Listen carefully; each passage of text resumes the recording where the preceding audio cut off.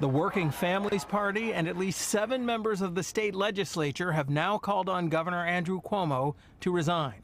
State Senator Jessica Ramos is one of them. The photo in the New York Times article is pretty damning.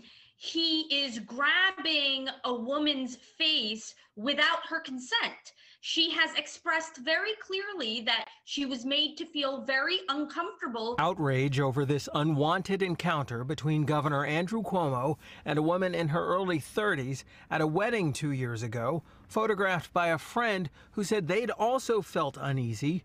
The woman, Anna Ruch, told the New York Times that the governor touched her back, which was exposed in her evening gown. She said she removed his hand and then he held her cheeks and said, quote, "Can I kiss you?" unquote.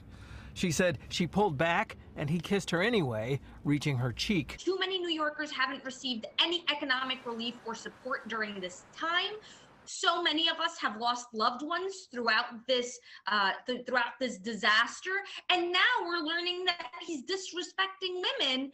Um, at some point, we have to say enough is enough. Meanwhile, State Attorney General Letitia James is now setting up an investigation into the accusations of sexual misconduct by the governor. Two women who'd worked in his administration, Lindsey Boylan and Charlotte Bennett, have publicly made accusations against him. AG designates a, a, a, person in a law firm or a law firm to conduct this investigation of the governor. John Jay legal professor and former assembly member Dan Feldman helped to write the law under which the attorney general is now carrying out the investigation. Feldman warns that while it's the attorney general's job to pursue complaints against the governor, her office is also tasked, ironically, with defending him. It's why there's a demand that the investigation be independent. The AG must, must create a, a, wall of separation. The most important factor here is uh, ensuring that the person conducting the, the investigation